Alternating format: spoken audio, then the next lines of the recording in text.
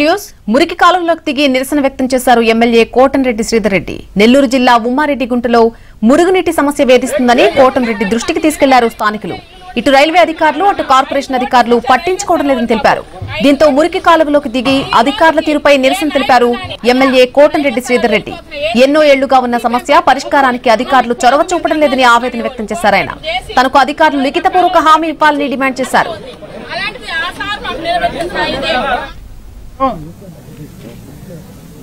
ఇరవై ఒకటో డివిజన్ ఉమారెడ్డిగుంటలో మురికి నీళ్ళ సమస్యతో నానా బాధలు పడుతూ ఉన్నారు. మామూలు రోజుల్లో మురికి నీళ్ళ సమస్య ఉంటే వర్షం వస్తే ఇళ్ళలో కూడా నీళ్ళు వచ్చే పరిస్థితి.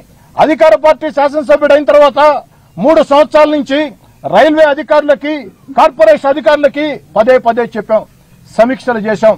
సమస్య పరిష్కారం అయ్యే పరిస్థితి లేదు. ఇటీవల వర్షాలకి ఇంకా ఇబ్బందులు పడే పరిస్థితి. ప్రజా సమస్యల పరిష్కారం విషయంలో అధికార పక్షమా ప్రతిపక్షమా నాకు ముఖ్యం కాదు. ఎప్పుడు కూడా ప్రజల పక్షమేనని చెప్పని చాలా స్పష్టంగా తెలియజేస్తూ నెల్లూరు రూరల్ నియోజకవర్గంలో అనేక చోట్ల రోడ్లు అధ్వాన్నంగా ఉంటే గౌరవ ముఖ్యమంత్రి వైఎస్ జగన్మోహన్ రెడ్డి గారు అరవై రెండు కోట్ల రూపాయల నిధులు కేటాయిస్తే కొంతమంది అధికారుల నిర్లక్ష్యం కారణంగా కొంతమంది అధికారుల నాన్చుడు ధోరణి కారణంగా ప్రజలు ఇబ్బంది పడుతున్నారు ఓ ఎమ్మెల్యేగా నేను కూడా విమర్శలు ఎదుర్కోవాల్సి వస్తుంది.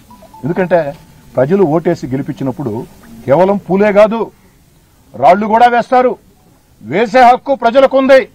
చొక్కా కూడా పట్టుకుంటారు ఎమ్మెల్యేలని. ఆ హక్కు ప్రజలకుంది.